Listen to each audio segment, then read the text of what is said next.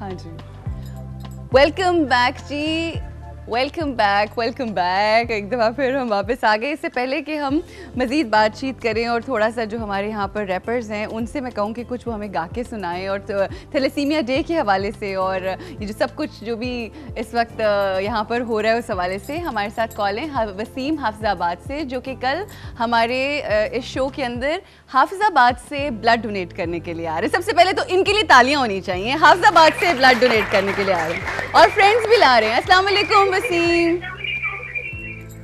Hello. जी। कैसे हैं आप वसीम? टेलीविज़न का वॉल्यूम बंद कर दीजिए प्लीज़।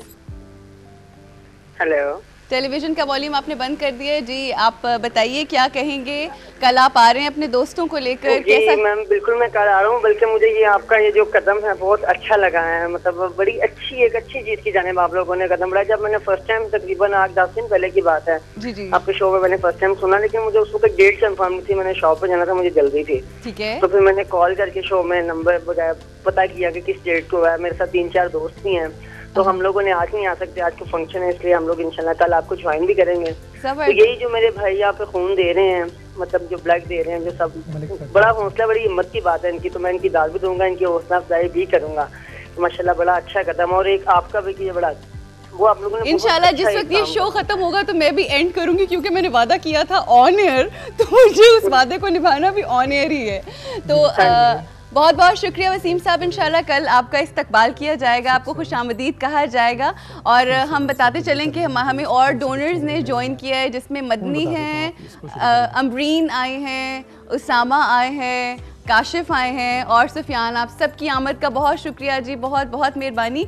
इस वक्त हमारे साथ यहाँ पर अब्दुल मनीम साहब हैं। बॉबी से हम लोगों ने सुनना है, मगर वो हम थोड़ी देर में सुनेंगे। आज बिल्कुल एक फैमिली एटमॉस्फेयर है। Things are just you know jumble up भी कुछ हो रही है, मगर it's a part of life show Maryam साहब, माशाल्लाह जो आपकी थेलेसीमिया सोसाइटी ऑफ़ पाकिस्तान जो आपकी ये है सोसाइटी इसमें एक दिन के अंदर आपके कितने बच्चे हैं जिनको एवरेज ब्लड ट्रांसफ्यूजन होता है?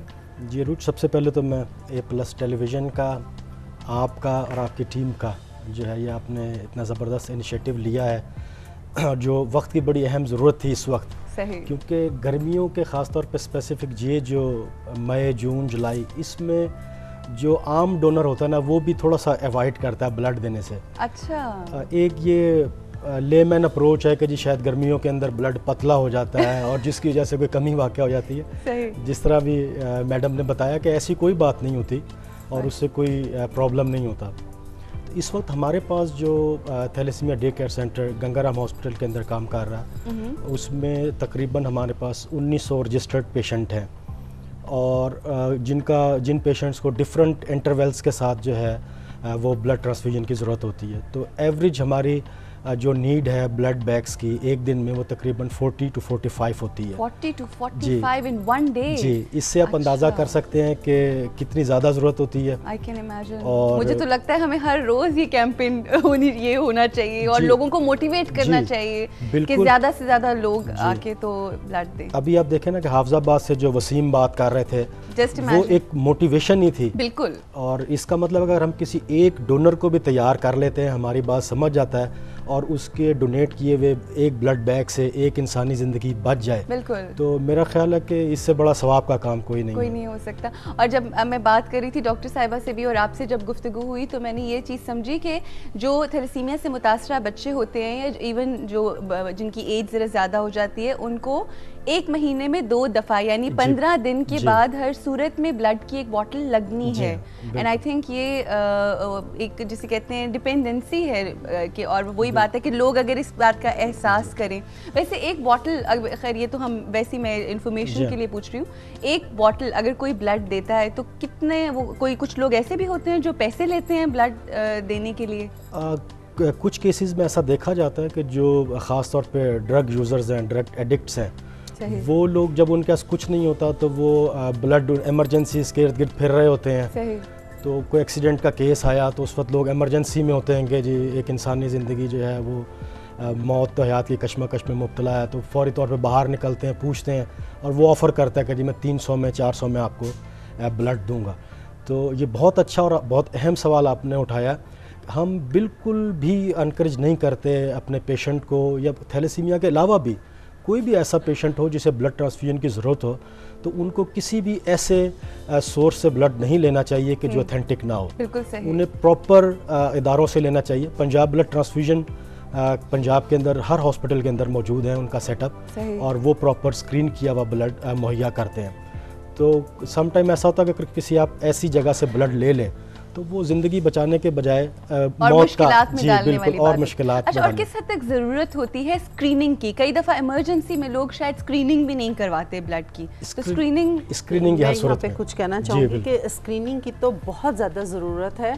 हम जब भी कितनी भी इमरजेंसी हो अगर हमने ब्लड उसी वक्त लिया है और उसी लम्हे हमें मरीज़ को लगाना है तो सबसे पहला स्टेप ही यही है कि हम स्क्रीनिंग करें screening hepatitis B and C and AIDS की मस्ट है स्क्रीनिंग करनी बिफोर ट्रांसफ्यूजिंग क्योंकि हम उस मरीज़ की जान बचाना चाह रहे हैं। हम उस मरीज़ को मजीद तकलीफात में मुबतला नहीं करना चाह रहे। हैं दूसरी बात आपके इस प्रोग्राम के हवाले से मैं ये अपॉर्चुनिटी लेती हूँ और मैं ये सब आपको बताना चाहूँगी कि हमारे पास पाकिस्तान में हर साल 5,225 बच्चे थैलासीमिया मेजर के पैदा हो रहे हैं।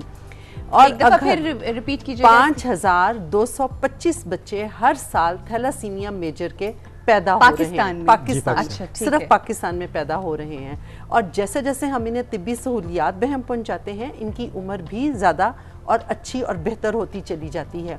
इनको हर माह खून एक बोतल लगना है। अगर आप एक साल में सिर्फ़ पाँच हज़ार बच्चों को बाकायदा खून की बोतल मुहैया करते हैं तो हमें उनके इलाज के लिए नब्बे हज़ार खून की बोतलें सलाना चाहिए। नब्बे हज़ार नब्बे हज़ार खून की बोतलें सालाना चाहिए सिर्फ़ पाँच हज़ार बच्चों को बच्चों लगाने, को के, लगाने लिए। के लिए। अभी जिस तरह मुनिम ने आपको बताया कि हमारे साथ 1900 बच्चे रजिस्टर्ड हैं हम्म। लेकिन ये सिर्फ़ एक सेंटर की बात है। आप देखें कि चिल्ड्रन हॉस्पिटल मेयो हॉस्पिटल और दूसरे जो अदारे हैं जैसे सुंदर फाउंडेशन है फातमीद है वो सब अदारे जो हैं वो इन बच्चों को खून देने की सहूलत मुहैया करें उन सब अदारों के साथ भी उनके बच्चे रजिस्टर्ड हैं जो बाकायदगी से उन्हीं के पास जाते हैं। और मतलब ये कि आज एक बच्चे ने यहाँ लगवाया कल वहाँ लगवाया इस तरह नहीं है। जो बच्चा जहाँ रजिस्टर्ड हो जाता है फिर वो हर माह वहीं जाता है क्योंकि उसकी बाकी की लुक आफ्टर भी जो है वो सारे उस हॉस्पिटल की उस ऑर्गेनाइजेशन की ज़िम्मेदारी होती है। क्योंकि ब्लड के साथ साथ जैसे अभी आपने बताया कि अखराज फौलाद जब हम इन्हें हर माह खून देते हैं तो इनके खून में इन जिसम में आयरन की मकदार जो है वो जमा होनी शुरू हो जाती है। साल दो साल के बाद वो इतनी ज़्यादा हो जाती है कि वो इनके जिसम के मुख्तलिफ़ अज़ा में जमा होती है और फिर वो अज़ा जो है वो प्रॉपर काम नहीं कर सकते तो इनके लिए मज़ीद मुश्किल का का सामना करना पड़ता है। उसके लिए इन्हें हर रोज़ाना तकरीबन हफ़्ते में पाँच दिन अखराज फौलाद के इंजेक्शन अच्छा, लेने पड़ते हैं। अच्छा। जो ये हम थैलासीमिया की इतनी बात कर रहे हैं उसके लिए हम मैं ये ज़रूरी समझती हूँ आपको बताना कि बीमारी का इलाज तो हम कर रहे हैं लेकिन पाकिस्तान एक गरीब मुल्क है और हमारे इतने वसाइल नहीं, नहीं हैं। है। कि हम ये सब कुछ कर सकें। अब एक बच्चे के अखराज फौलाद के ऊपर तकरीबन साढ़े तीन लाख रुपए सालाना खर्च आता एक बच्चे के ऊपर? एक बच्चे पर एक साल के लिए अखराज फौलाद की जो है वो सालाना साढ़े तीन लाख रुपया खर्च आता है। तो बजाय इसके कि हम इन बच्चों की तादाद में इजाफा करें हमारे लिए ज़रूरी है कि अगर हम तशखीस कबल अज पैदाइश की सहूलत जो उन्नीस सौ चौरानवे से पाकिस्तान हम्म। में मौजूद है उसको इख्तियार करें और ऐसे बच्चों की पैदाइश को रोकें ताकि हमारे फैमिलीज़ के ऊपर, माशरे के ऊपर और मुल्क के ऊपर बर्डन जो है वो बिल्कुल। अच्छा हम यहाँ पे ब्रेक लेंगे और ब्रेक पे जाने से पहले मैं ये ज़रूर बात कहूँगी कि इंशाल्लाह अभी जब हमारी गुफ्तु और मज़ीद आगे बढ़ेगी साथ साथ हम इंफॉर्मेशन ले रहे हैं इस डिज़ीज़ के हवाले से बहुत अहम बात यह है कि हम देखने वालों को अवेयर करें उन लोगों को बताएँ ज़्यादा से ज़्यादा कि बीमारी एक दफ़ा जब हो गई उसका इलाज तो किए बगैर गुजारा है नहीं क्योंकि उसका एंड रिज़ल्ट आप मतलब वी ऑल नो कि वो डेथ ही है। मगर ज़्यादा अहम चीज़ ये है कि हम प्रिवेंशन किस तरह से हम लोगों ने शुरू ही से इसका ख्याल रखना है किस तरह से इसको प्रिवेंट किया जा सकता है इससे बचा कैसे जा सकता है इस हवाले से अवेयरनेस हमें डॉक्टर साहिबा देंगी जो आपकी स्पेशलिटी भी है। इस ब्रेक के बाद और इस वक्त मैं जाने से पहले ब्रेक पर बताना चाहूँगी कि नूर ब्लड डोनेट कर रहे हैं एंड आई थिंक अगेन ये एक कंट्रीब्यूशन है हम सबका। और ये हम चीज़ लोगों को दिखाने के लिए नहीं कर रहे मैं ये बार बार इसलिए कह रही हूँ क्योंकि कहा यह जाता है कि नेकी हम नॉर्मली किसी लड़की ने या किसी बंदे ने अच्छी घड़ी पहनी हो या अच्छे कपड़े पहने हो या अच्छे शूज़ पहने हो अच्छा बैग लिया हो और अच्छे बाल बनाए हो, हम इन तमाम चीज़ों का, को फ़ैशन को फॉलो करते हैं। तो आइए इस चीज़ को फॉलो करें कि अगर नूर ने आज ब्लड दिया है या मैं दूँगी और हमारे बहुत सारे भाई और बहनें यहाँ पर मौजूद हैं ब्लड देने के लिए, आइए इस नेकी की चिटिंग करें और इस नेकी को कॉपी करें ताकि